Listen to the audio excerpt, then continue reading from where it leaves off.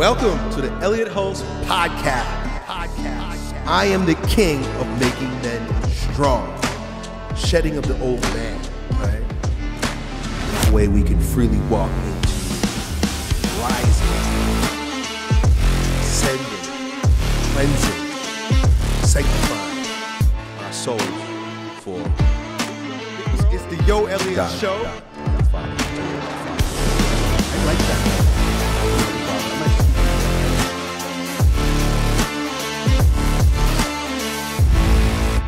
Yo, bros, we're back with the Yo Elliott Show, and today my guest is Steve Brule.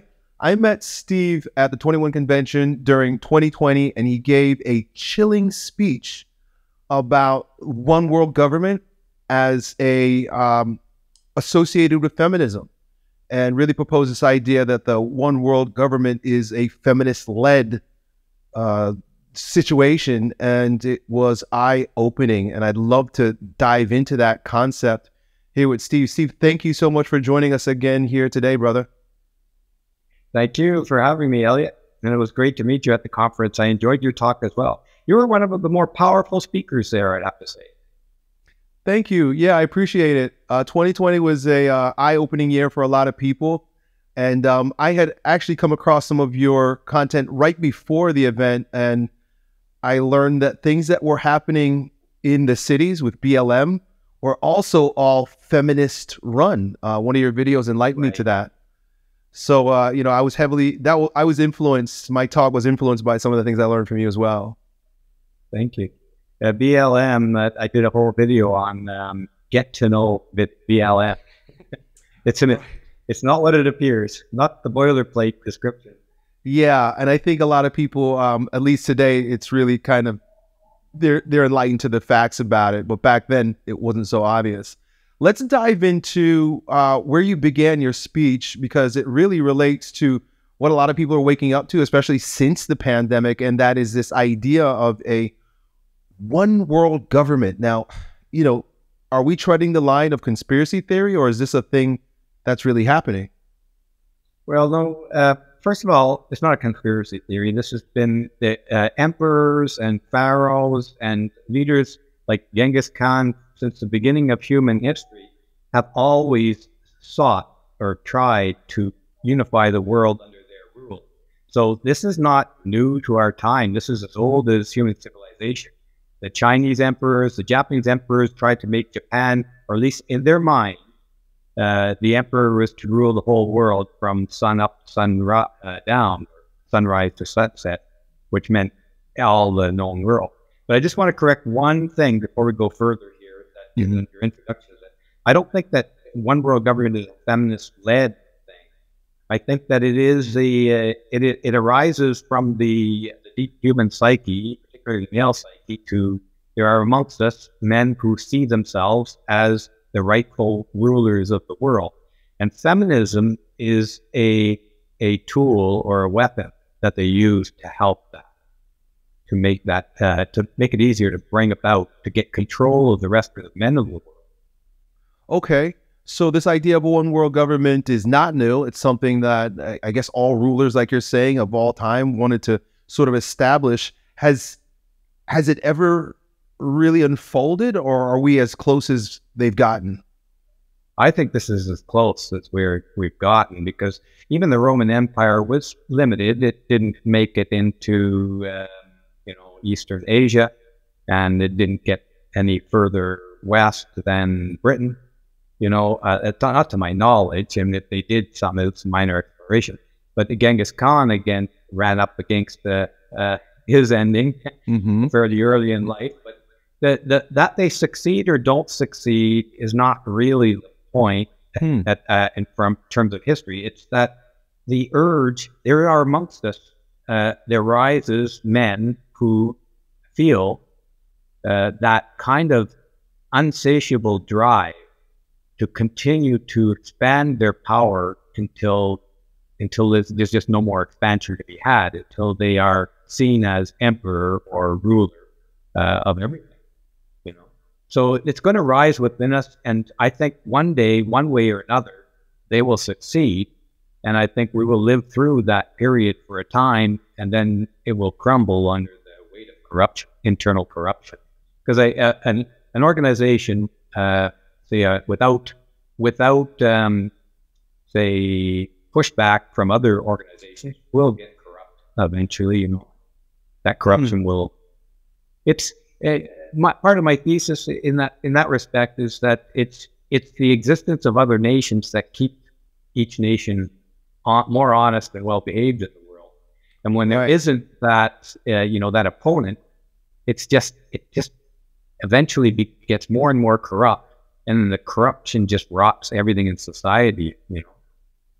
So we saw what looked like a, a cohesive movement during the pandemic, where like the conductor moved his wands and everybody went into lockstep. Almost every single country. I think there were a few, you know, Caribbean, I think like Haiti and like a couple African countries. And then, of course, in some way, the United States, because we were still under Trump at the time, were the only pushback. Is that correct? Did it did it seem as if the whole world was under one spell during that time? To a degree, yeah.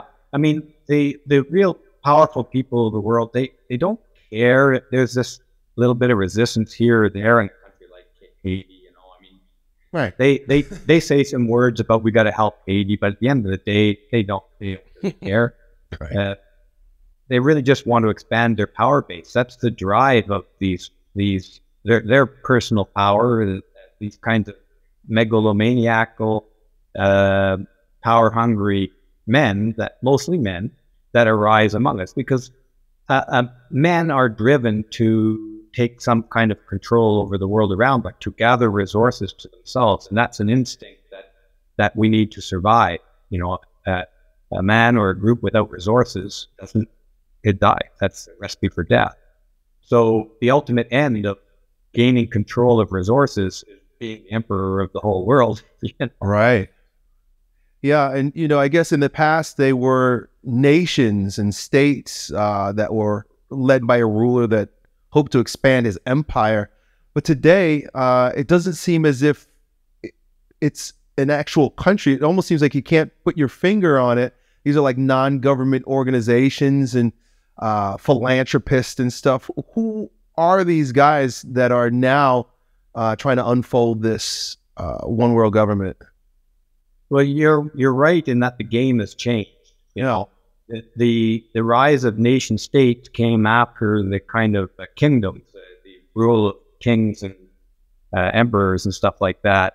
Uh, and then the, with the rise of nation states, we kind of, I think, we're moving towards the end of that phase, and the game has shifted into global corporations.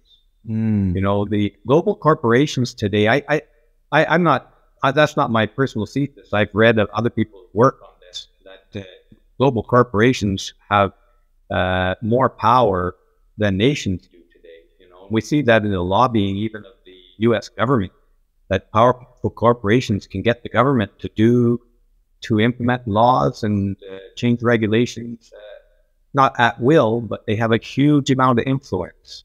You know, so the game for power is played amongst is is played out amongst global corporations primarily, and then non-governmental organizations, which are again controlled by corporations by virtue of their funding and their presence on board of directors and stuff like that.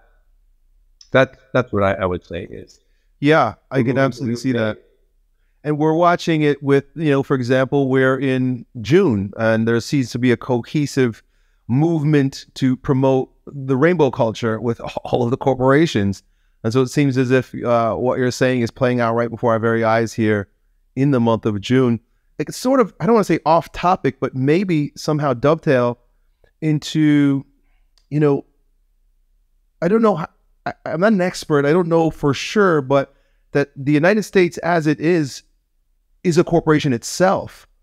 And that it's it's almost as if we're not run by a government; we're run by a corporation. Uh, is is that is that so? And you know, if that's the case, is is that partially why maybe we're not pushing back? Yeah, I mean, I've heard and read a little bit about what you're talking about. That the the corporation, uh, I think the corporation of the U.S. is uh, uh, how it's dealt with under the original um, law uh, law of the seas, or the not called the law of the seas. I can't remember what it's called right now. Maritime. but maritime law, I think, uh, and then the relationship with the U.S. with with other bodies of the time when, when the U.S. was incorporated. But again, I'm way outside of my research zone on that. Um, so I, I'm not sure that that really matters whether we Mhm. consider for, for for the kind of thing I'm interested in, whether we call the U.S. a corporation or we call it something else. At you know, at at, at the very least, it is we can classify it as a country in the traditional sense that we're used to calling countries, nations. It's a nation state, or at least a collection of nation states under the federal uh, umbrella.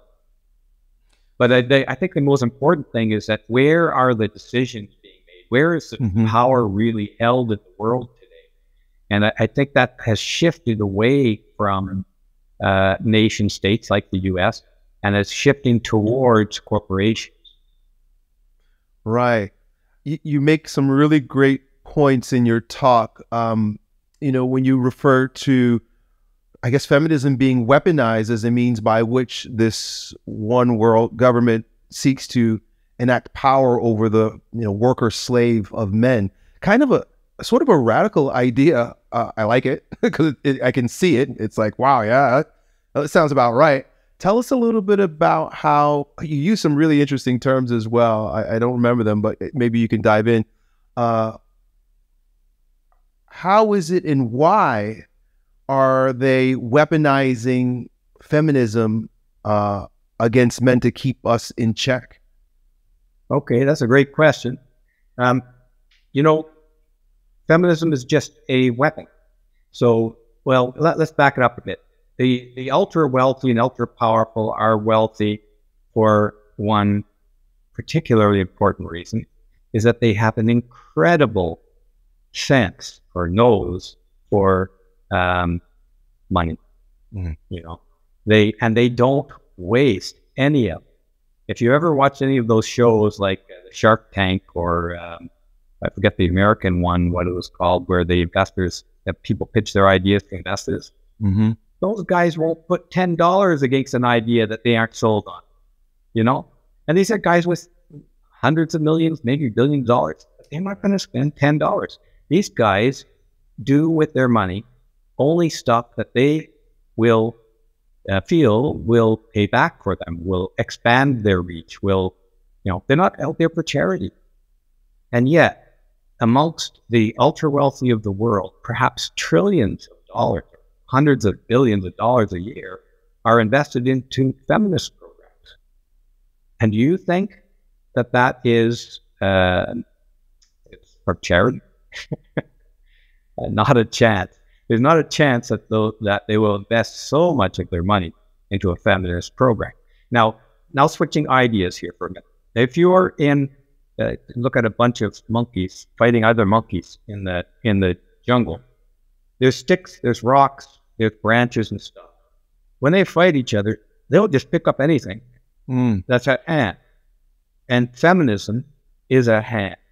And some uh, pe- clever people, they're cleverer than I am. That's why they're billionaires and multi-billionaires. Mm-hmm. Uh, they quickly, I think, saw the power inherent in feminism. And uh, now, if you look at what's the result of feminism, they they dominated the education system. They are they are made uh, huge inroads into uh, affirmative action, hiring and promoting in business, in law, in uh, government. And uh, in specific cases, we could talk about where Strauss Kahn was removed from the International Monetary Fund, and he was he was replaced with Christine Lagarde. And we're seeing uh, in Malta, for example, Kamala Harris is installed in place to be, you know, the Democrats her to be the next president or, or soon to be president of the U.S. In every case, they're trying to seek rationalize putting women in power over men. men are typically uh, reluctant to compete 100% against women in almost anything. You know, I don't, my upbringing, and I think the upbringing of everybody that I, every man I've ever been with, if you go in the ring, you go in the court against a, a woman, you play, you, you back off, you back off a lot, you know? And the, so men tend to defer and allow women to get ahead. Now, now we have uh, women being put over men in the workplace, being put over men in church, being put over men in the home, in public spaces. Men have to defer to women in all of these cases. That forms like a shield against which the, the people who are funding feminism are protected from the, that huge uh, group of otherwise very competitive, possibly threatening men Mm. who now can't rise above this shield of female leadership. Huh. So you're saying in a way we hold ourselves down by deferring to women. And so they're weaponizing our tendency to do so against us. To a degree, I mean that's not exactly how I rationalize it in the uh, in the video. I, I think that uh, we've got to come up with an explanation as to uh, first of all, one thing that feeds into this is that feminism is all about lies. It's built on a on a stack of lies, and I deal with those lies in the, video, "The Birth of Feminism." And their core central lie is that uh, men have oppressed women throughout all of history, and that is a nothing could be further. Uh, men throughout history have typically, this is the overarching arc, not to say that there are incidents uh, of of uh, bad behavior on men's part. There certainly is. But the overarching story, if we are to make one, of men, male and female relationships, is men protecting and providing for women. That's the overarching story of history. There is no overarching story of men oppressing women. Well, it seems like this is a, a an ever-present paradigm. I mean, most women, even those who don't refer to themselves as feminists, and a lot of men. I spoke to a so-called red pill man the other day, and they all sort of assume that women were always treated poorly. But now you're saying that's not the case. No, it's a complete lie. Hmm. It was invented in 1848. I mean, they, they even took that lie, uh, in a sense, from the uh, the Marxist Communist Manifesto. I think uh, that was floating about at the same time or just before the um, the uh, Declaration of Sentiments, the feminist document uh, declaring that women, men have oppressed women through all history. Uh, the the Marxist version is that the bourgeois have oppressed the uh, the proletariat, the working class, throughout all history. That history was characterized by a ruling class oppressing the working class. That does make sense, you know. I mean, there's an easy argument for that when you look at the the horrendous way that large groups of men were enslaved and treated and brutalized throughout history and, and used for their labor.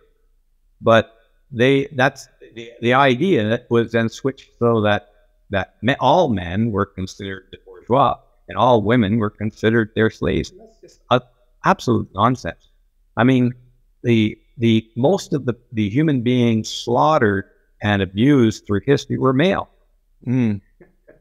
They were slaughtered often by uh, and abused by female leaders. There were there were uh, female emperors in Rome. You know, there were very powerful women in Rome. And one of the reasons that uh, feminism didn't arise until 1848 is that prior to that time, uh, the politics and war and and work was backbreaking, brutal, murderous affairs. Anybody who stuck their head or nose up into the reaches of power is very likely to die young and bad. So by the time 1848 came around, politics was now a civilized sport. It wasn't a blood sport. By the time 1848 came around, warfare wasn't anymore this brutal hand to hand, uh grotesque, muddy field battles so much as, well, I mean, I'm not saying it, that that Right. totally ended, but it, it- the, the the place in which women say men, uh, time of history that we're talking about here, the lives of men in particular were brutal and hard.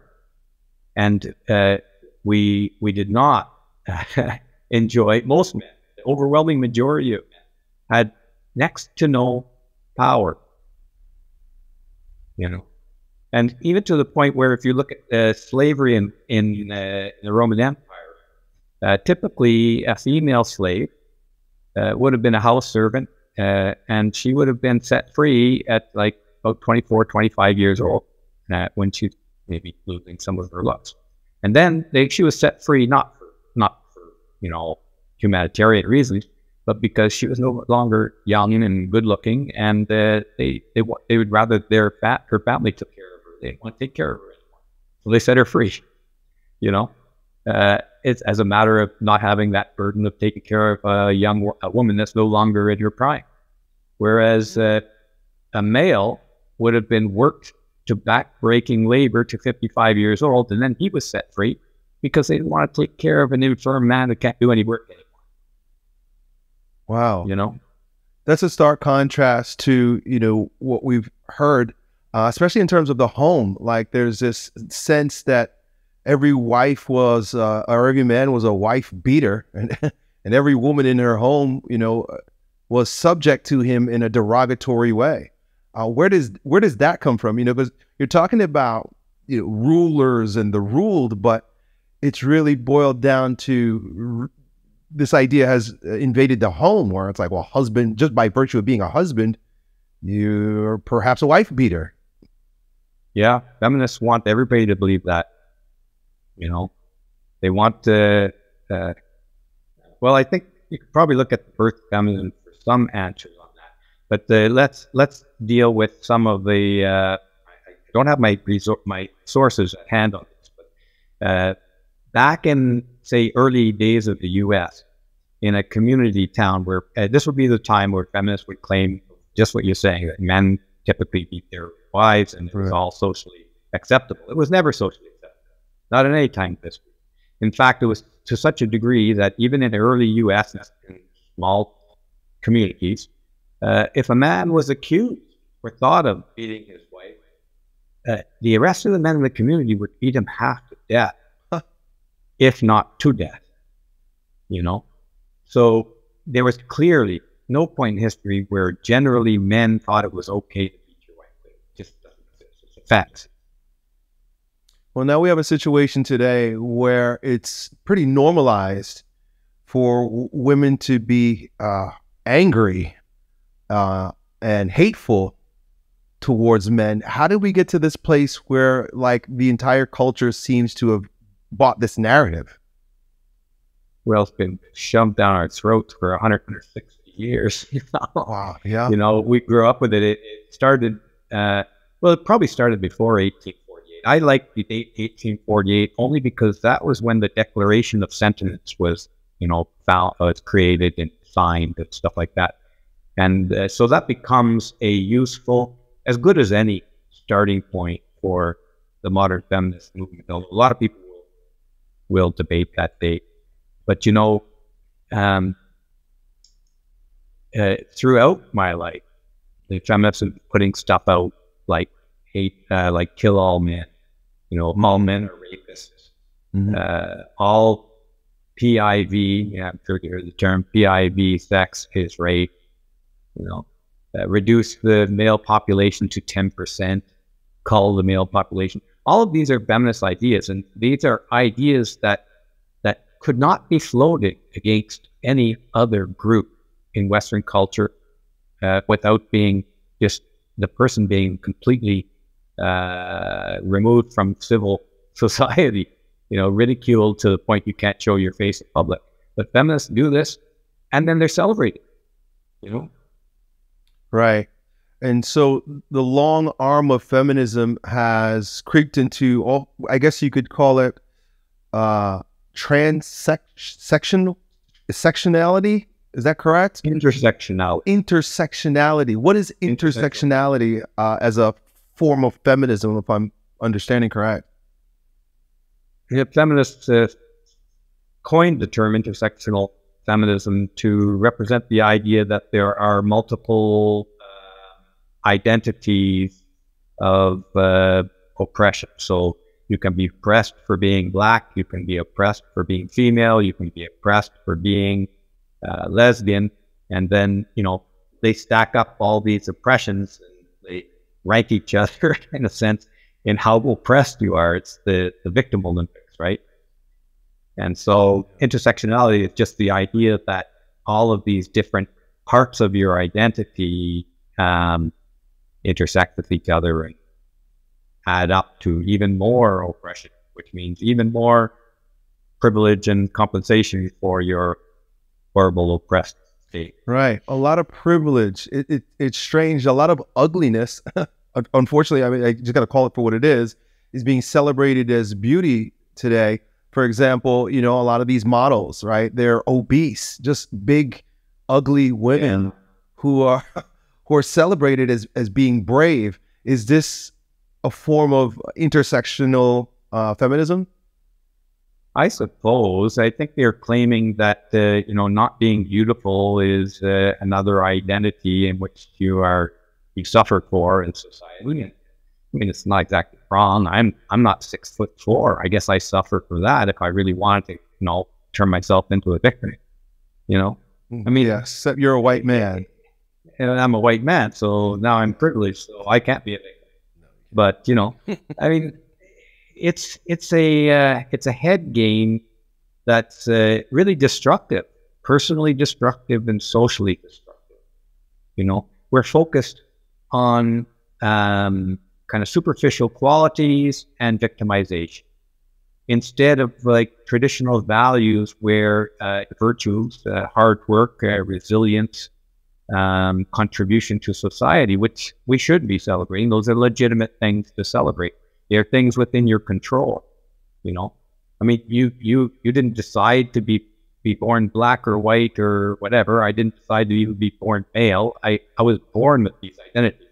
You know, but what uh, I think traditional traditionally we would have celebrated a person's achievements, right. person's dedication to family, to work, to various things like that. Those are legitimately celebratory things, you know. And uh, to be honest, like there are legitimate forms of victimization. For instance, if you were walking down the street, some uh, strung out drug dealer came up with you with a baseball bat and knocked your brain out and now you're you, you've got problems you're, you're a legitimate victim and you know society should uh, help you out and because in recognition of the fact that uh, this was doing and you're legitimately victimized but you know you're not victimized by being being born female you're not or male you know yet you are i mean I, I'll, I'll qualify that a little bit. we're not all born equal. Some of us have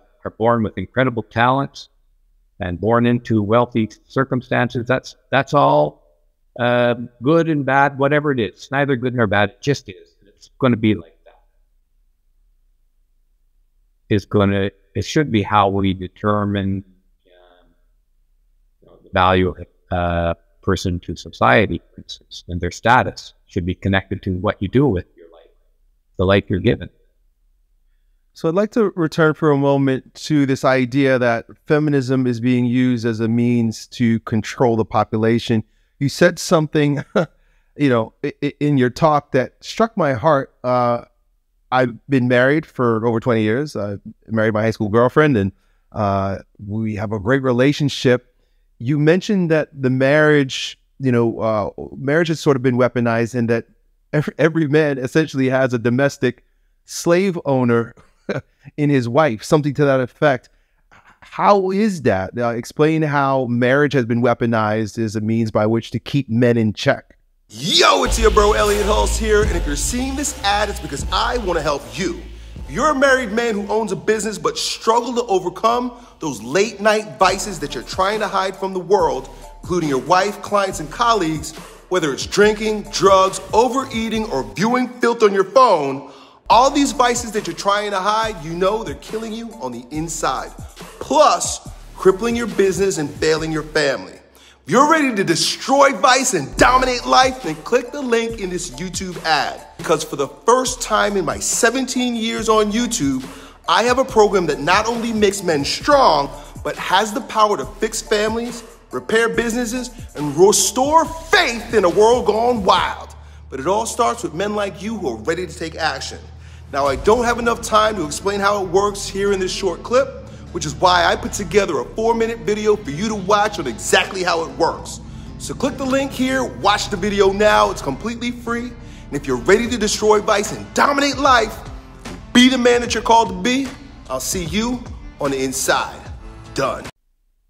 Yeah, um, well, I, I didn't quite put it that way, but what, what we're dealing with here in marriage is the marriage law. So, right. and in, in combination with the domestic violence laws, which have been created since uh, the 1980s or early 1980s, I think they started, or might have been early 1990s. I can't remember exactly. But these laws have been drastically overhauled, such that now a woman's word is all that's needed often to put you in jail. Now, it doesn't matter to a sense how good your relationship is, because uh, in all likelihood, and, and this may apply to even the majority of men, their wives aren't going to pull that trigger. Right. But they have that gun. Mm-hmm. They've been given that gun. They've, it's been loaded for them. And all they have to do, if they decide to, is pull that trigger. You know, and if we examined the, let's, let's compare this to slavery, uh, not that, well, I, am not a slavery expert, but I, let's just say, not all slave owners abuse their slaves. Right. But, but that but that they didn't doesn't make slavery any better. Mm. They could have. Mm-hmm. They could have legally abused their slaves right to the point of beating them to death. Even the best of slave owners had that right. And now we put that same right, to a sense, not obviously it's not exactly the same, but we've put a similar kind of power into the hands of women. You know, they just, a woman just has to call 911 and all the all of the power of society comes to her back and aims their guns at you. How is that different than when you mentioned in the past if a man was found to be a wife beater that the other men would come and you know lay it lay licks down on him? Yeah, I mean it is similar. it's similar. It's just that now it's the law. Yeah. You know, back then it wasn't legal for men to do that. It was never legal. You know, they were like, and, and I doubt that that happened every single time. Mm-hmm. Okay. I'm just uh, saying that there are examples where that did happen, mm-hmm. you know. And uh, and for instance, that fella Emmett Till, uh, this is the case of a young boy who, it, who turns out was innocent. Yeah, you you familiar with the name? Mm-hmm. Yeah. Uh, Till. Yeah, he was, I think, beaten to death uh, because he was accused of being um, by a woman, uh, a white woman. In this case, it's a ratio who was racially uh, motivated as well. But you could have equally been um, in extreme examples. It could be related to the same issue we're talking about, male female. But uh, a woman, a white woman, accused him of some kind of unsavory behavior towards her, not rape, but uh, maybe it was rape. I can't remember the details. But a posse of, of, uh, of people beat this young boy was about, I think, 13 or 15 years old, literally to death. Yeah. So, you know, living as domestic slaves in a way, uh, where you mentioned that if, you know, if she does, if you don't take her on a expensive vacation or uh, don't remodel the kitchen for the third time, uh, the, a lot of this was, you know, I guess if the corporations are, are unfolding this one world government that ha- economics have a lot to do with it. Yeah. Yeah. So it's about I'm getting a lot of decisions in our world. Yeah. Yeah. Oh yeah. Well, there is that. I mean, yeah. I mean, for a long time now, I think uh, probably ever since the beginning of advertising, advertisers have realized that uh, uh, discretionary income is is uh, mostly spent by women, and so so many ads are are targeting target women, you know, right. and and it makes sense because um, first of all, if you are not, if the money just comes into the house and you don't have to do anything for it, well, do you care how much something costs? You know, ah, Right. I even worked with a guy whose wife was actually uh, quite demanding, and uh, and he just couldn't resist anything she asked for, and he ended up working to his last day, and he didn't seem to have much to, to show for it, other than you know he claimed to love his wife, which is fine. Uh, but at the end of the day, I don't I don't care what people do in their private marriages as long as it's not criminal. But uh, I do object to uh, one party having the verbal, the power of their, their word to destroy the other party's life. That that is an inherent relationship. That's not doesn't mean that's not to be male, female, black, white, whatever it is. You take one class of people and you say their word can destroy the life of this other class of people, and you've got a master-slave relationship there. That is the nature of a, a master-slave relationship, and it doesn't matter if the master never uses that power; they have it, and that Right. plays in a lot of men's minds, back of their mind Yeah. especially especially as you get past your best years of life and you've accumulated something and you're facing that you know maybe your marriage isn't going so well Mhm. right but you're going to end up I, I know men in this exact situation okay Yeah. i'm not making this up they will not they will do they will keep their mouth shut and their biggest fear is that their wife will want a divorce and they'll lose everything they worked for all their lives. They don't have the energy to to start over and rebuild that. You know? it, it's tough, man. Uh, you know, because of course this is uh, this is a strike against the family reproduction. I think a part of their plan is to depopulate the planet, and so you know we're not marrying, we're not reproducing, we're all sterile, uh, and it and even you know uh, me and my wife are doing fine, but anything could happen. And so I was watching your video today, and I was thinking, I'm such a I'm- I'm sort of a psychopath myself. I was like, if I if that happened, if we got into that situation, I would just burn everything down and just take Burn it down with me. I'll just burn it all down. I'll take all the money. I'll just give it away, and then I'll light a match and burn the house, blow up the car. Well, you know put what? in jail. It's like you get nothing. And maybe your wife knows that, so she's not going to divorce you. Yeah, yeah. We both we're both going down. We're both psychopaths. If we go down, we go down together. Yeah. So what is You're it? gonna like this next. Uh, sorry, you're gonna next, like this next video that Janice. I I, I published the videos for Janice Fiamengo. I'm not sure if you're familiar with your her or your audience is, but uh, we've been doing um, anti-feminist or feminist critical and cultural commentary videos for about a decade now. And this next one you're going to find very interesting because it touches exactly on this feminist uh, attack of, of males globally and it's uh, dealing with the, the UN and the UNICEF and the UN, UN Women uh, segment of the UN and how they are undermining family everywhere in the world, including the poorest of countries. Rather than pro- providing services like clean water, sanitation, and uh, agriculture, they're convincing, uh, they're trying to convince governments of the world to focus on educating only women Right.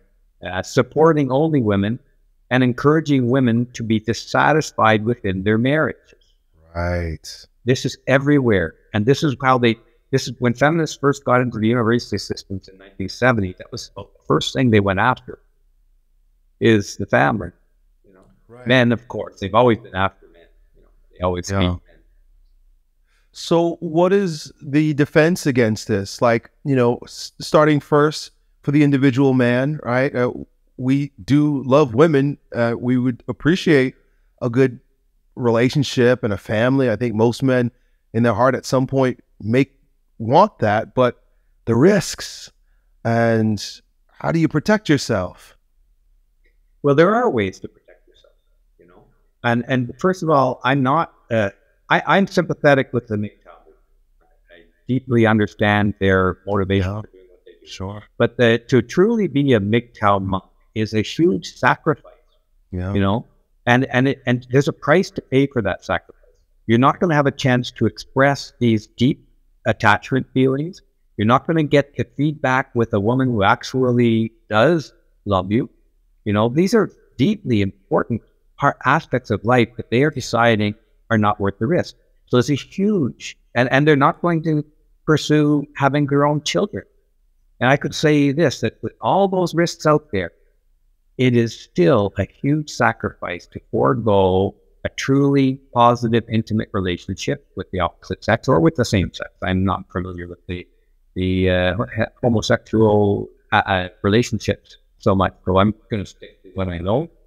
Uh, you know, I'm heterosexual, and I, and I feel that the heterosexual relationship for sure, and I suspect there are things but it, to be with someone that you truly feel strongly about and, and you get that feedback from them, you see it in their eyes and their face that they truly feel strongly about you. That is a very, it's a very deeply positive uh, human experience that I think is that, that most people should have a chance and try. But uh, having said that, the risks involved are huge. So and other people have suggested things like, you know, uh, make sure the woman has more to lose than you do. So marry somebody richer, you know, or go after somebody richer than you. She's less likely to go be tempted. Yeah, she's less likely to respect you also. I'm not saying this is perfect, but uh, I also did a video called Husbands 2.0. Mm-hmm. Uh, and that one deals with two radically different options for men to satisfy their urge to procreate, uh, which I think is an important urge. Um, you know, apart from whatever you might think of religiously in that in that sense, but uh, I, I just believe at the end of the day, I understand, I sympathize with the MGTOW movement, but I think that the sacrifices that you make to go down that road are very, very high, and that there are ways to mitigate the risks of pursuing an intimate relationship with a woman and having your own family. Mitigate, not eliminate. right. There's nothing in life, and there's nothing at all in life that is risk free. The risk, even there's risks associated with going MGTOW. You know, there's the risk of being profoundly unsatisfied with your life at the end when you realize that, you know, I never had a chance to raise my own kids or I never had a truly intimate relationship with another human being. That's a risk. Yeah. And to and what end? There is a crossing. Sorry? And to what end? You know, I think about, uh, you know, the monks that left Rome, uh, uh, the Benedictines and so forth, and they became MGTOW in essence, but to give their lives to God. And it seems as if uh, if it's absent from that, it's m- maybe a little shallow. Like, to what end? Like, am I just living for myself so I can? I'm not sure, you know, especially if you're not contributing to society or just kind of loafing around. To what end? Yeah, I think exactly. And there's some people that that think that the hedonist lifestyle is the end in itself. Right. Uh, I don't think that's very satisfying. Well, like as a as a full for a full life. I mean, I get hedonism. I indulge in some. I like to indulge in some drinks. I like to indulge in a lot of very hedonistic like things. I just don't think that that makes a full life. You know. Mm-hmm. So, uh, what are your thoughts on this attack? Of course, you know, one world government. We're, we're probably talking communism. Uh, I, I think it's they're they're united, and the attack against gender, sexuality, uh, the family as an attack against God and it being an atheistic movement. Right. That's a big, big old question there. Uh, I, I do have a video coming up shortly. I've done three videos in the to- topic of atheism versus theism and God. First one was uh, atheism is untenable. The second one was um, the fraud of neo atheism. The third one uh, might displease some people in religious people, and it's called the problem with fundamentalism. I think there are some inherent problems of literalistic thinking with respect to God. And the next one that I'm just uh, trying to finish up uh, is called uh, God, Where is the Evidence? And it addresses this question that atheists always bring up, uh, which is when you talk about God, they will ask you to say, Where is the evidence? So, um, and, and the reason I give this backdrop is that the question of um, God and sexuality and all that, this is, it is part of that whole question of uh, atheism versus does God, because the question is, does God exist? You know, this is a more fundamental question. If you can get beyond that question, I think, well, I'm getting a little confusing here, but uh, the pursuit or else the contemplation of the question, does God exist, gets you into that role of then what would, how does God exist? What way do we know God? Or how do we know God? So knowing God is kind of what you're talking about when you talk about uh, uh, the relationship with the sexual, our sexual present day liberties, I guess you'd call, or our express, sexual expression versus um, what how it relates to our our religious belief systems or our system of meaning and purpose in our lives. Yeah. I don't know if that makes any sense. Well, I'm curious because we look at so, for example, in Islamic countries, uh, from what I understand, they're also being they're getting an onslaught of feminism as well. But you know, holding strong to the Abrahamic tradition of God created the man and woman, and uh, we understand that we're built for one another and we are different, but we have roles that complement one another, and that it's better that we stay within our lanes and live in that way. It's it's also supported by natural law, but here in the in the West, I, I would say that we've become much more materialistic, much more atheistic, and as a result, we've almost looked at Genesis as sort of a fairy tale. Well, it's like, well, God made men and women, but that doesn't matter because God doesn't exist, so we can kind of do what we want would you say that religion would play a role in the healing of this split? Um, I kind of agree with uh, Thomas Berry, who was a Jesuit, uh, no, sorry, a Passionist priest. And he uh, talked along the, uh, the issue of where, why our religions, our churches, our religions of the world are in such disarray today? Why is it? Why is there such a say um, denial of God? You might say. Um, and his uh, view is that uh, our religions, our traditional religions, are failing. That to the extent that um, they are sinking, uh, they can't deal with the modern world as well as they once did when time when they were they were first uh, kind of crafted, you know, they first came to be. So he advocates for putting aside sacred texts for X number of years to reevaluate, um, not reevaluate, but reimagine what we know, what I can know, and how to approach God. Um, so, for instance, uh, this is kind of one of the the topics that's going to be presented in this this where's the evidence video that I'm coming out with. Um, the scientific revolution it was so successful, you know, in creating uh, things for us in the world. You know, it everywhere we look, we see the success of our scientific method, scientific. Uh, but here's the thing: the scientific method begins with the exclusion of God. Scientific method uh, treats as a presumption the universe as a mechanical object. So all questions of meaning and purpose are excluded from science. Mm-hmm. You know, to, before you start your first science experiment, before the first application of the scientific method, uh, God was explicit the pursuit of God, the idea of God, uh, everything about that you might say is God is excluded from the, the whole process.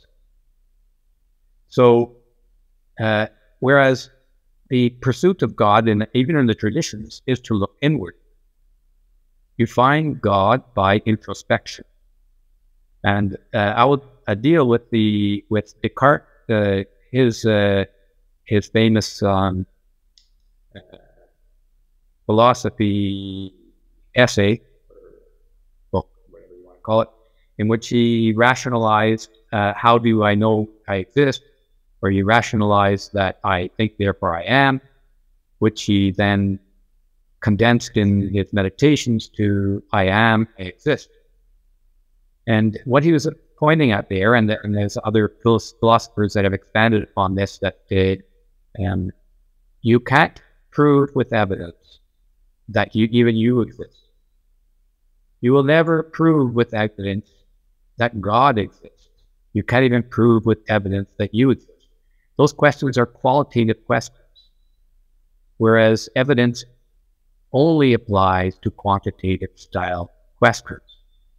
So the the when you get back to Descartes and the origins of uh, most of the religions, uh, in the Book of Exodus, for instance, I touch on this in the, the new essay. Uh, when God talked to Abraham, and Abraham asked, "Who am I going to say sent me?" And uh, God says, "I am that I am, or I am what I am." Right. So tell the people that I am sent you. And this is exactly what Descartes said, or Descartes reasoned with pure reason. Okay, pure reason is a valid way of knowing. It's a philosophically valid way of coming to know things through pure reason. Whereas, um, and that, that falls into empirical know, empirical knowledge is experiential knowledge, whereas opposed to objective knowledge, which is evidentiary knowledge. But in any case, I'm getting, I'm getting kind of into it too much here. Stop me if you will. Uh, to say that uh, that Descartes came up with the same kind of proclamation that I am through reason implies, and, and the same thing happened through Hindu religions, for instance. Uh, in Hindu, Brahma exists. Brahma is God, and he makes the universe out of himself. So that Brahma is I am, the universe is I exist, I am, I exist. You know. So the way to know God is then not uh, to is you you can't know God through trying to do scientific experiments with evidentiary uh, uh, proof.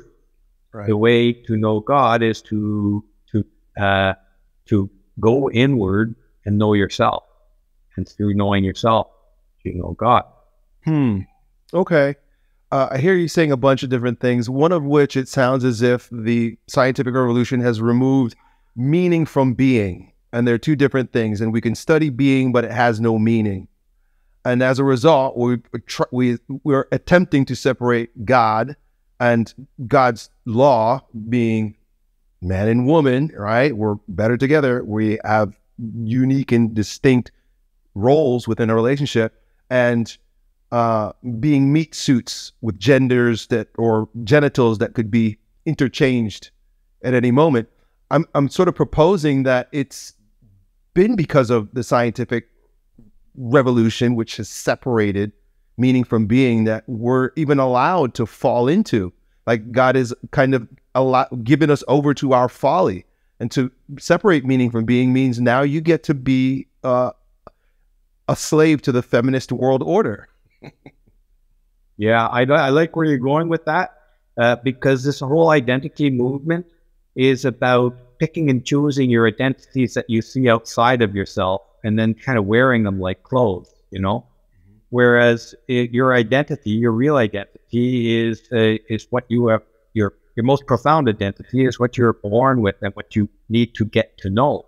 You need to a person, a healthy person gets to know themselves, gets like the, to, the journey to understand yourself is the journey to understand who you are, your identity. Rather than do that journey in our culture, people are going out and saying, I like this part of that identity. I'll take that, I'll wear it over here. I'll put on this little hat over here. This is my this is my gender fluid hat. Yeah. Um, this is my I'm going to be now a uh, I'm going to I don't know, pick one of the identities. There's so many of them out there. Most of them now are re- related to um, to uh, gender and sexuality, but uh, you get you get the point. We're we're not looking for internally for our natural identity.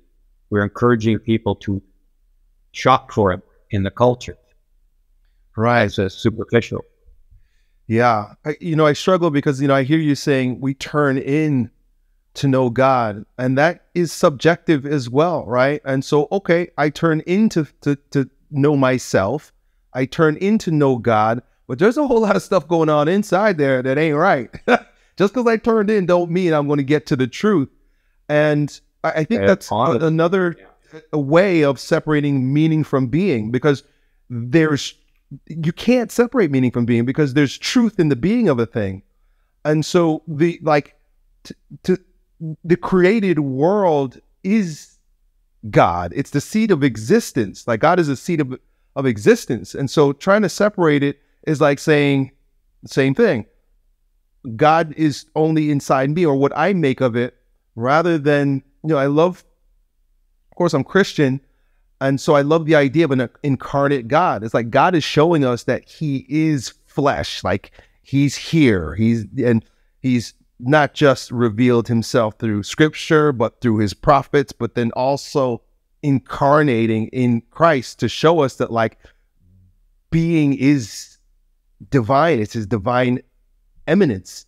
And so no matter no no amount of turning in and deciding for myself, just like, you know, being a transgender, um, can really reveal God. I think I think there has to be an element of objectivity. right? I think you're you're you're right to. Uh, I I'm not disagreeing with what you're saying.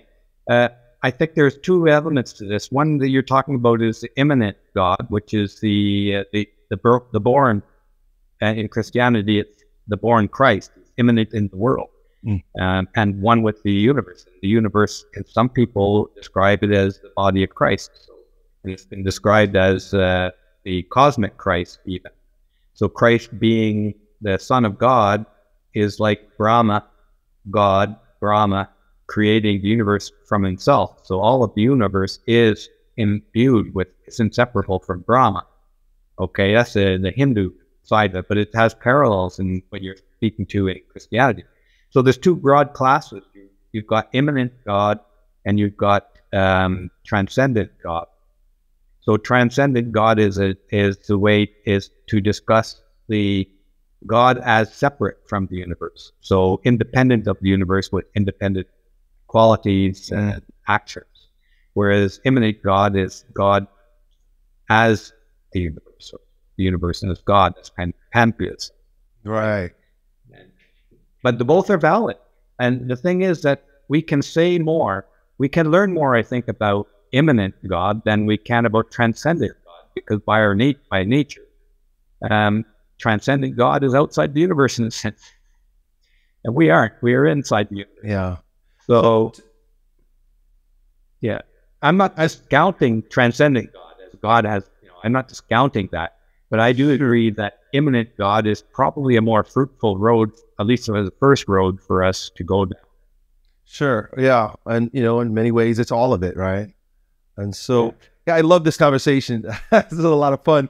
I definitely want to I want to bring it back though, because you know, we're talking about a- attack on nature, we're talking about an na- attack on the family, we're talking about an attack on God. And this is essentially what the one world government through the feminist arm is enacting on us. And it's unfolded most potently in Western civilization. And you know, in your talk, you you you you point out how Western civilization has now have a it had now has a face, and it's become a racist sort of attack. And so, whiteness is also a sin in this feminist world order. Correct? Mm-hmm. Well, uh, that that point was talking about uh, they they began with um, Western culture, which came to represent uh, uh, patriarchy, uh, and then they turned that into white guilt, sorry, white privilege. Then it transformed. This is over over a sequence of about sixty years, right? it transformed it into white privilege, then white guilt, and then they just distilled it right down to white. Okay, now they the the people who want to craft, create discord in the world, uh, they're pretty crappy. Uh, you know, if you walk down the street and somebody tells you, "Oh, smash the patriarchy," well, you can. Where are you going to find the patriarchy? You're Right. walking around, there, there's no patriarchy on the street. Even if you're going to say, "Well, let's tear down Western culture," and you walk down, well, everything is Western culture. everything you see there, everybody you see there is Western. You're Western culture. I'm Western culture. Uh, jazz, uh, rap, uh, the music, the science, the law, everything there is Western culture, including you. So where do you what are you smashing? There's nothing. There's no face to smash. But when they got it down to white, you can see white on the street. Now you have an enemy, a visible, identifiable enemy on the street. And what are we seeing? We saw this immediately with the with the whiteness is the enemy uh, memes that came out a few years ago. We saw random attacks on white people on the street almost immediately. And then you have people, uh, gr- uh, gangs and groups growing up and getting, whipping themselves up into fury at white people. Yeah. So there's an enemy. And now you've got discord. Now you've got the people at each other's throats. And you have, see, on the other side, we, we see groups of white people starting to strike back uh, Mhm. or, or at least speak out saying things like, okay, white lives matter. Okay, that nominally is a non uh, controversial thing to say. But it, on when it is heard or received as black lives don't matter. Right. And so this this is constant discord, and it, it's all based on this desire to uh, tear down uh, the feminist desire, Marxist feminist desire to tear down Western culture altogether. Yeah, I think one of the most deplorable things that I've seen unfold in these times are the self-loathing white people who who bend down their knee and apologize relentlessly and Licking boots, even. There's videos of that licking boots. yeah. Yeah, Yeah, I remember watching a video uh Yuri Bezmenov. I spoke about him in my talk and I think he's his ideas have become more popular now that we we're post uh pandemic. Um and he talks about demoralization and what it looks like, how it unfolds, and it's so evident that we're at the peak of that demoralization. That not only do people not can't even stand up for their country, they can't stand up for their religion, they can't stand up for their for their beliefs, they can't even stand up for themselves. So much so that they lick boots. It's sad. it is. You know, I think one of the, the points I made in that video is that the uh, the U.S. Uh, needs to be weakened in order Right. to bring in a one world government. The U.S. is, uh, you know, still, although I think its power is past its peak, it's still the, the big boy on the block. You know, um, if the U.S. doesn't go down that road, the world doesn't go down that road. So those who want a one world government, they recognize that you're not getting a one world government until you chop the U.S. down a few steps, you know. And uh, the lefties in power now, Biden and his buddies, they're doing everything they can to chop the U.S. down, and that's why they hated Trump so much. They absolutely despised Trump because Trump wanted to put the U.S. first, wanted to strengthen the U.S., which is his job. You know, hmm. you're the leader of the country, good or bad, whatever you think about that country, whatever you think about nation states, the leader of the country, his job is to look after the interests of the Right. country first. Doesn't mean you can't have you can't have uh, international programs to help other countries. We're way beyond helping other countries now. We're we are into a range. I think Canada and the U.S. to which we are um, actively uh, weakening our own countries. So you mentioned America being the last uh, bulwark against this, and of course we're we're falling quickly.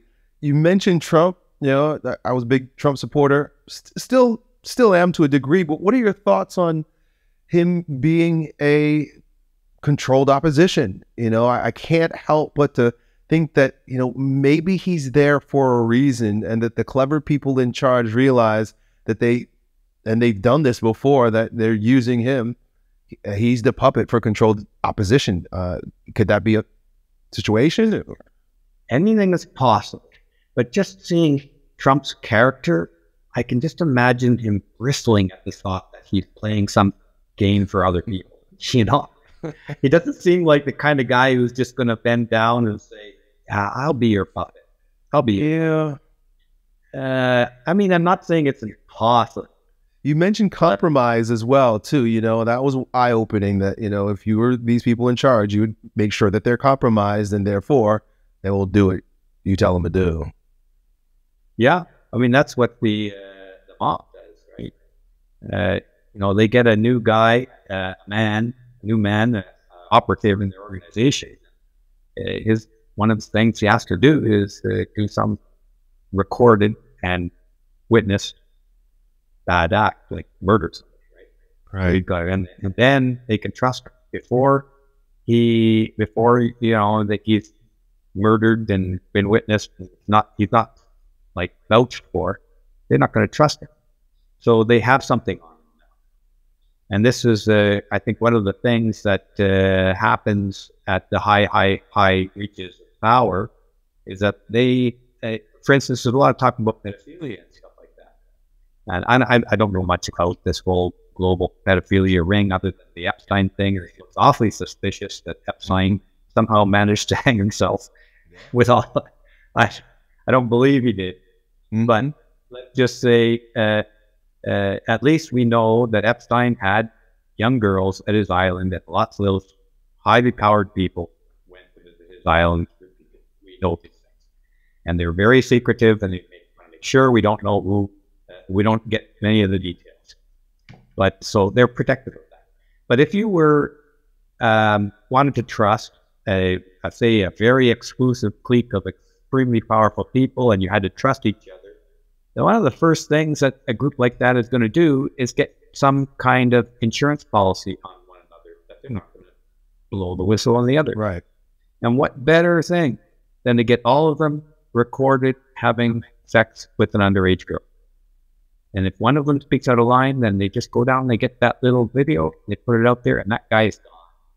He's in jail. He doesn't, he nothing he says anymore is going to threaten the remaining group members.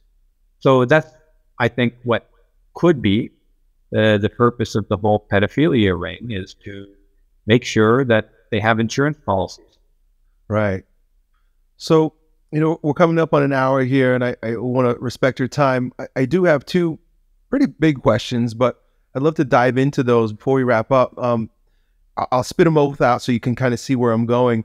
Uh, first, what is the end game here for the world rulers? Where are they ultimately taking us and why? And then what do we do? You you did you mentioned a global coalition of men that there may need to be some movement grassroots. What would that look like? So, you know, where are they taking us and how can we push back is really it. Yeah. Uh, well, where I think they're taking us same place they've taken every civilization that they've grasped control over is that they what are the interests of the super powerful?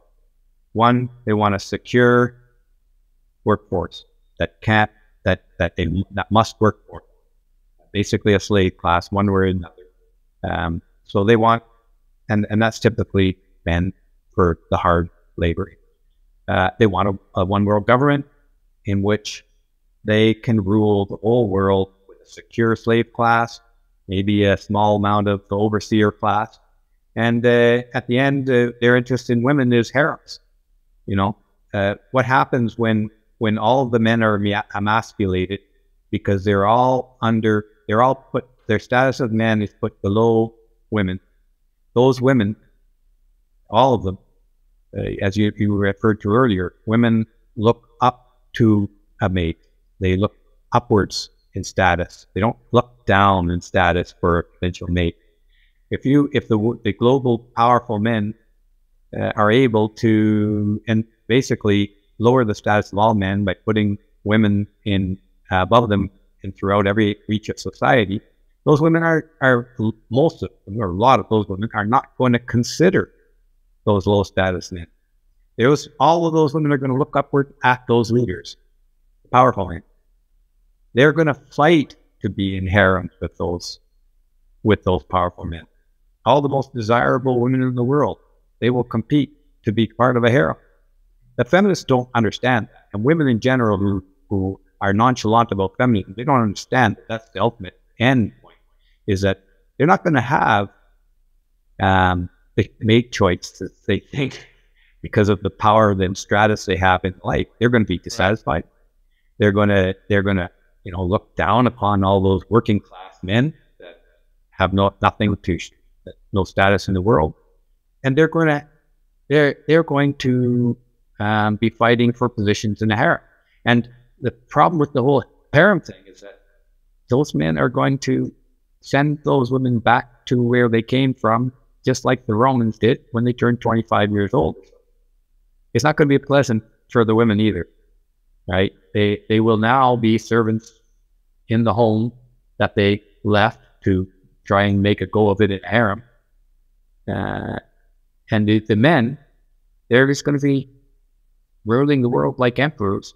But they will. But it's not going to be pleasant for the men at the top either. I don't want to say that uh, that mm. they're all just a group of uh, guys hedonistically enjoying and laughing about everything in life.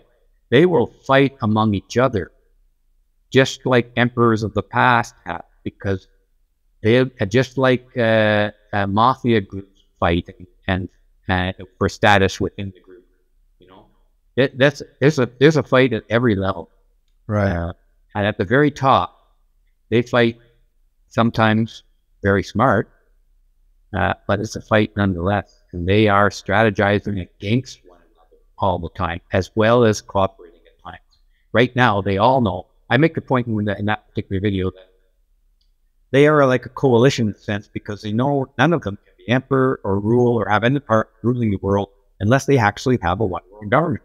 You can't rule over a one a world if there isn't a one world government to rule right. So they, they have to cooperate. They, they kind of unconsciously know that, and they're they're all pushing in that one direction. But once they establish that, they all know they'll be fighting top. Just like when the mafia boss is, is knocked off, the next one there's blood, there's blood in the street, and they're all trying to gather a coalition of supporters amongst their buddies. They're all trying to jostle for position. There'll be some offings. There'll be some some some some uh, executions, and there'll be some clearing of house. You know, it'll be a bloodbath, uh, not necessarily a physical bloodbath, but there will be a lot of uh, going on at that point. Now, I think we're ultimately going to have to deal with a one world government. You know, because uh, this is the first time in history where it's actually literally been possible to rule over the whole world. Right. Um, whether they succeed this time, uh, it, it, doesn't really matter. They, if they don't succeed this time, or, or in my lifetime, they're, they're not going to stop looking for it. They're not going right. to stop fighting for it. They're just going to keep going until they get it. And then it's a different story. Uh, there'll be a time when when things are are going okay, and then it'll just start to get corrupt, corrupt, and corrupt. It seems like no external opposition. Just been happening that way. Uh, is this like the the this this the pattern of Babylon, like the uh the the the Tower of Babel, right? Like wasn't this what we were doing thousands of years ago as it was recorded in the Bible? Like sort of the same thing we're just repeating? Likely. I mean, human nature hasn't changed much in a hundred thousand years. You know. No. Uh, we're, we're we still have within us the same cast of characters we carry around. You know, we have prophets, we have sages, we have devils, we have uh, evil-minded people. We have uh, ambitious emperor-minded people, warriors and priests. The same cast of characters are amongst us that we've been amongst us for God knows how long, forever. But what can we do about it is another question. And I threw out there the idea that a global union of men, which is, you know, obviously a pretty ambitious project. oh, I don't know if it can be achieved, but um, or even, but but maybe even just the idea of trying uh, could lead to groups of men, and it's not like we haven't had that in the past. You know, there have been essentially unions of men in the past. We call them other names, like um, uh, what are the the, the Masons, uh, Freemasons. You know, it's basically a union of Freemasons, and they took on larger roles. You have the the, the knighthoods and uh, various, you know, that uh, that decided that they would come together and form a bond based on common interests and common commitment. We need something like that, I think. Uh, or and even if we don't, I, I think ultimately the long game is that the one world government's going to come. It's going to ride out its time. It's going to at the end the end of it, it's going to be incredibly brutal. It's going to be incredibly miserable for incredibly large numbers of people. But ultimately, if even if there's no League of Men, for instance, doing anything about it, it will crumble under the weight of its own corruption eventually, like all huge unopposed societies do. And that's the problem with the one world government, is that there's no opposition. And it's opposition. You're, you're an athlete, okay? Uh, it's your enemy that makes you strong. Right. You know, it's your enemy that brings the best out of you. Without an enemy, you you turn to hedonistic, slothful, uh, angry, kind of un, unfocused, unpurposed misery. It, there's a it, there's even a, a term for this the uh, the sacred enemy. Right you know, both sides. You make your enemy stronger, and your enemy makes you stronger. And, and I'm using the word enemy in the broadest possible sense. It's basically a, a an opposing force, right? Two countries, you know, uh, struggling to for maybe not dominance in the world necessarily, but even just struggling to for their economy to be better, their people to be better than the others. They right, they bring each other up even with the competition, they bring each other up. Right. I played you know, there comes a point when, when you're, when you're getting better at your particular game and you're playing all of you, you don't have enough competition. In order to continue to get better, you need better competition or you were just raw. You just, you just kind of rot at that level. Yeah. So a one world government will bring us into that. There's, there's no, there's no competition there's no outside force to keep the government honest. Yeah. You, know? I, you, you did have a warning earlier, and we've spoken about fundamentalism. I'm curious what your thoughts are on, uh, you know, end time prophecy and like, does Jesus come back and uh, will there be a chastisement? And does this all end with God opposing us? That's a huge topic. Uh, yeah, yeah. Uh, I mean, uh, I, I am not a uh, a literal uh, Bible believer. I I I believe that uh, I believe God, and I'm going to try to the best of my ability to explain myself in this next upcoming video, which is nominally uh, called "God, Where is the Evidence?" Um, and that's in response to the question often posed by atheists: "Where's your evidence for God?" Mm-hmm. Okay. Um, but um, does Christ come back? Uh, I guess that question depends what you mean by Christ. You referred to uh, cosmic Christ, or I put the word cosmic Christ out there, but you kind of inferred to that idea of Christ, the immanent Christ in the universe. You know, to a sense, if, if Christ is to come back, to my way of thinking, it would be this that spirit of Christ within each person, however you understand it, rising to the surface and expressing itself through each one of us uh, the, that kind of best side of ourselves, if you will, that uh, the reflection of Christ within each person rising to the surface, increasing, so that almost an army of Christ rising in the world. But I don't envisage a Christ, uh, transcendent Christ, coming to earth and you know fixing all our problems. sports.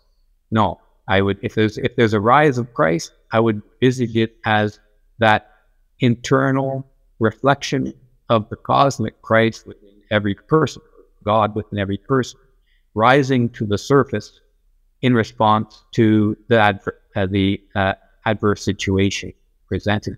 So bringing the best out of each person, and that becoming a wave of uh, good, maybe you could say, or at least resistance to the evil Yeah. that's rising. Yeah.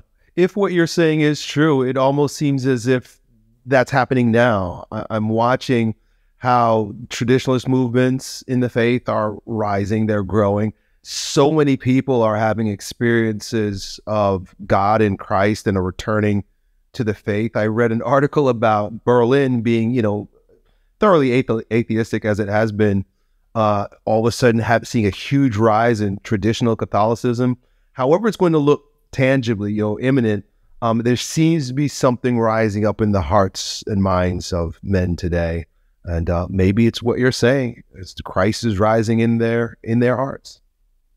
It could be. I mean, that's uh, uh, it's not a far fetched idea because you know there's a kind of almost a natural opposition of forces in the world that kind of you know as evil rises, well, the response is to like for good, say to come or the best side of people to come up and say, you know, this is not right.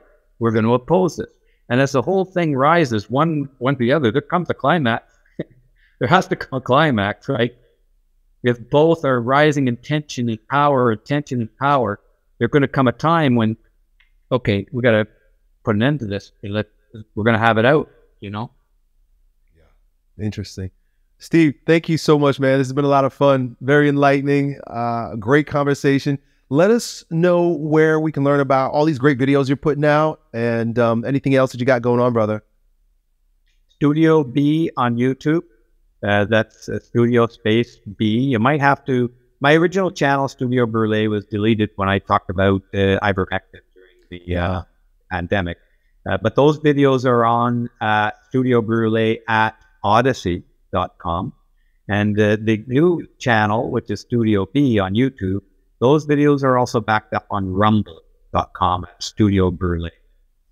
So um, the new ones right now uh, are going on to Studio B. Tomorrow, the one about the uh, uh, feminism's uh, infiltration or use of the United Nations, UNICEF, to spread, rather than spread the healthy things to the needy countries of the world, to spread ideological feminism. Right. Uh, that's coming out tomorrow, and that's a really interesting one. Uh, I would highly recommend you do it. That's by Janice Fiamengo. Good. Uh, and my next one on uh, uh, God, where is the evidence? That should be in about a week or so. awesome. On You know, Studio B. I was uh, looking for your channel. I didn't realize it was deleted. I, I, searched Steve Brule, and apparently there's like a comedian or something. So I got a bunch of like, I got a bunch of like joke channels, and I was like, oh, what is this? And so you know, I had to go and do a little digging. But thank you. I don't know why. That that's from O'Reilly. Uh, it, it's not Charles O'Reilly. Now. He's a comedian, and he created a character called Doctor Steve Brule. I don't know why he came up with that name. I never, I never met the guy. Yeah. Well, Studio B, we'll go look for it, man, and uh, we look forward to the new videos, brother. Thank you so You might have to put in Fiamengo when you put in Studio B because uh, there's a lot of Studio Bs out there. The new channel only has about five or six thousand subscribers. Well, be sure to link to it. which- Okay, sounds great. Yeah, so it'll be easy for people to find. All right. Well, enjoy the rest of your day, my man, and uh, hopefully we'll link up again soon. Thank you so much, Elliott. Bye.